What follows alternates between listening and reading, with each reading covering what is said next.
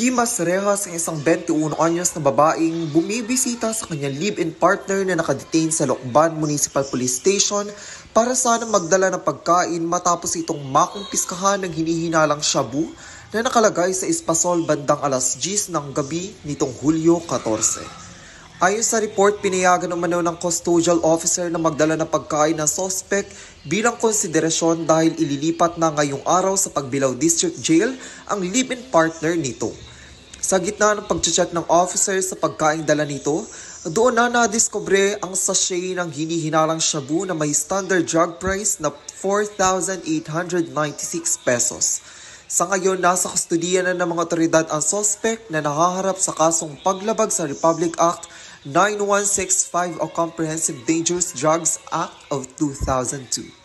Gigi Medenilla nag-uulat para sa DZDG 96.7 Destiny Radio at your service.